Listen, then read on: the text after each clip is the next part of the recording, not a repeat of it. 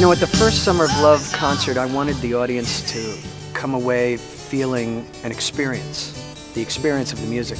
When we play this music, we believe in it like it's 1967.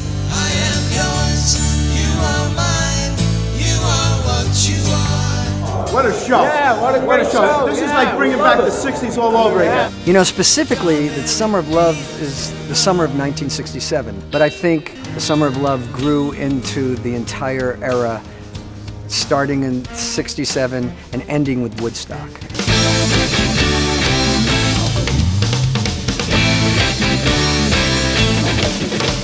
Wouldn't want to do a Summer of Love concert without including the Stones, or the Beatles, or the Doors, or Jimi Hendrix.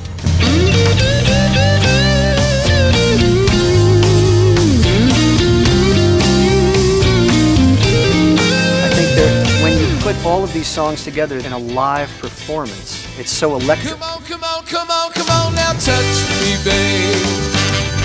Can't you see that I am not afraid?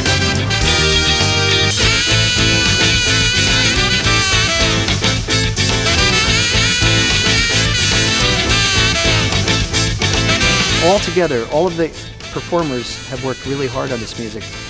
I think you can tell that when you see the show. If you're going to San Francisco,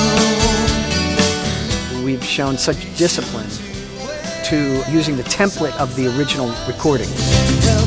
well,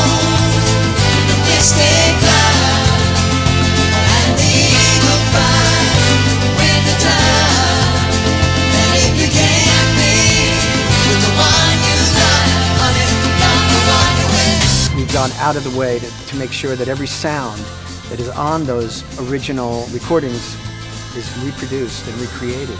All the leaves are brown, and the sky is gray. I've been for a walk on a winter's day.